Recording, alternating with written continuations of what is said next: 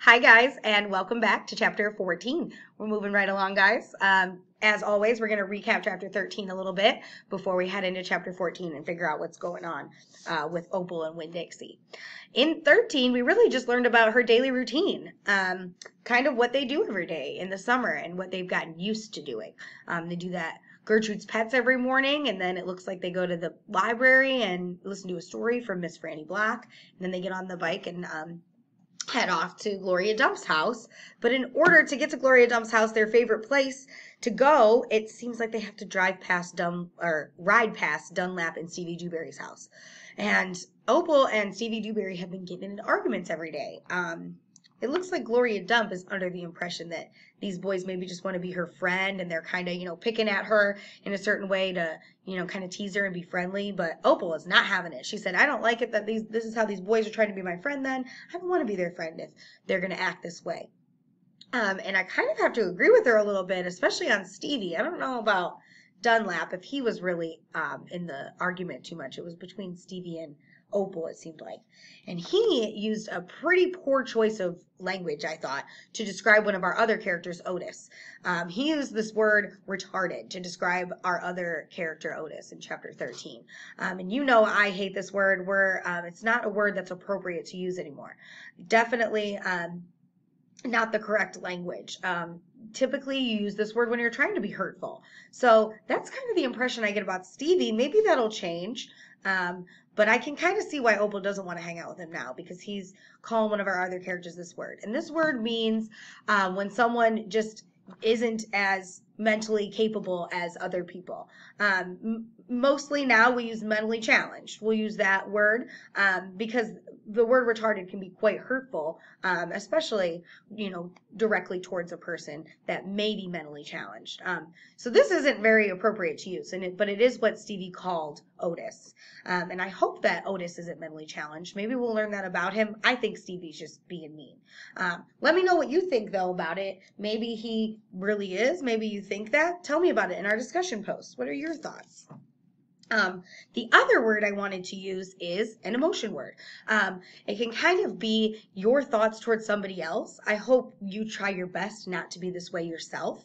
Um, but this word Opal used was ignorant. She said that Dunlap and Stevie Dewberry are ignorant. She said that to um, Gloria Dump.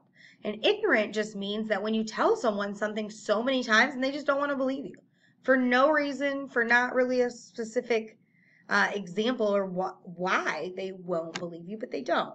You could tell them over and over and over again that this this pencil is orange. I have an orange pencil, and they're not going to believe you. They're going to say, "No way, that's not an orange pencil. It's blue. It's blue. It's blue," and they're never going to believe you that it's orange, even though it clearly is. You can see it right in front of your face. They're being ignorant, even though that you can see it and the right answer is right in front of you they don't think it's correct for some reason. So that's the other vocab word I wanted to pull out of chapter 13.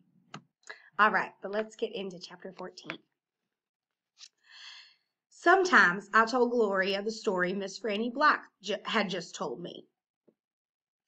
Or I imitated Otis tapping his pointy toed boots and playing for all those animals. And that always made her laugh. And sometimes I made up a story about Gloria Dump, and Gloria Dump would listen to it all the way through from beginning to end. She told me I used to, or she told me she used to love to read stories, but she couldn't anymore because her eyes were so bad. Can't you get some really strong glasses? I asked her. Child, she said, they don't make glasses strong enough for these eyes. One day, when the storytelling was done, I decided to tell Gloria that Otis was a criminal. I thought maybe I should tell an adult about it, and Gloria was the best adult I knew. Gloria, I said. Mm-hmm, she said back. Do you know Otis?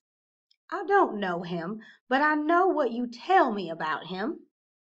Well, he's a criminal. He's been in jail. Do you think I should be afraid of him? For what?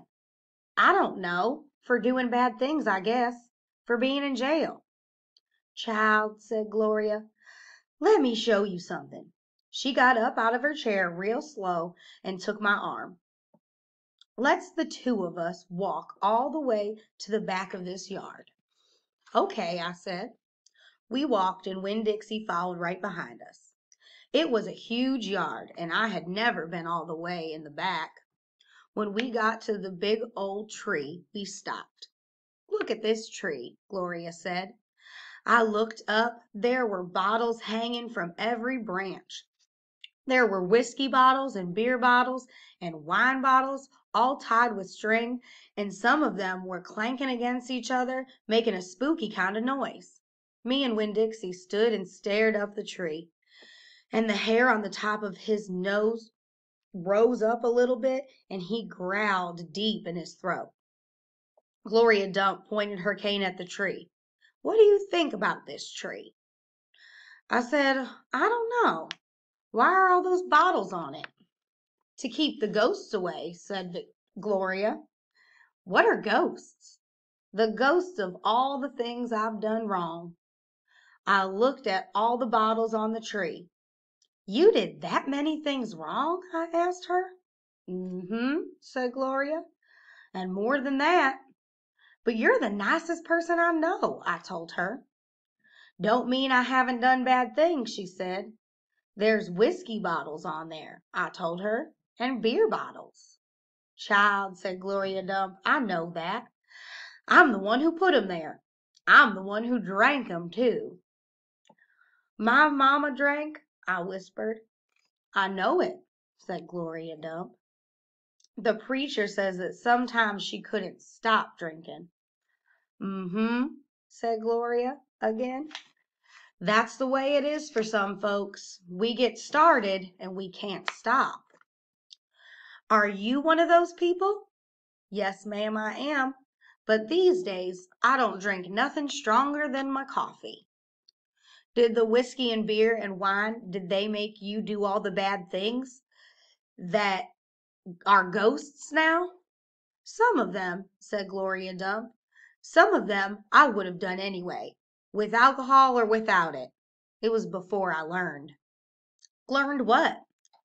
Learned what is the most important thing. What's that? I asked.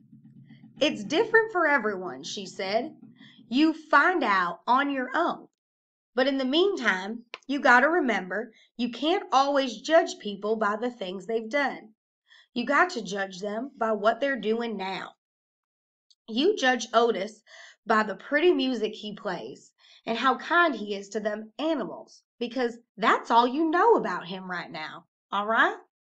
Yes, ma'am, I said. And them Dewberry boys, you try not to judge them too harsh either. All right? All right, I said. All right then, said Gloria Dump, and she turned and started walking away. Winn Dixie nudged me with his wet nose and wagged his tail. When he saw I wasn't going. He trotted after Gloria. I stayed there. I was I I stayed where I was and I studied that tree. I wondered if Mama, wherever she was, had a tree full of bottles, and I wondered if there was if I was a ghost to her, the same way she sometimes seemed like a ghost to me. And that's the end of chapter 14.